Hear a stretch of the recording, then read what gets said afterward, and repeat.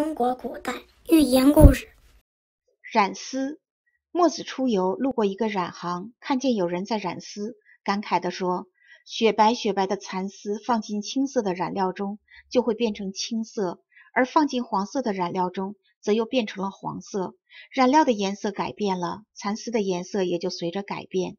蚕丝染了五次，它的颜色也变换了五次。因此，在染丝的过程中，不能不小心谨慎啊！不但染丝是这样。”就是社会、国家也像染丝一样，社会好比一个大染缸，五颜六色，人要与各种各样的人事物打交道，真假、善恶、美丑，无时无刻不对人的思想产生影响。因此，应该逐步提高自己的文化修养，增强分辨事物的能力，注意来自客观环境的影响，把握自己，既不要人云亦云，也不要随波逐流。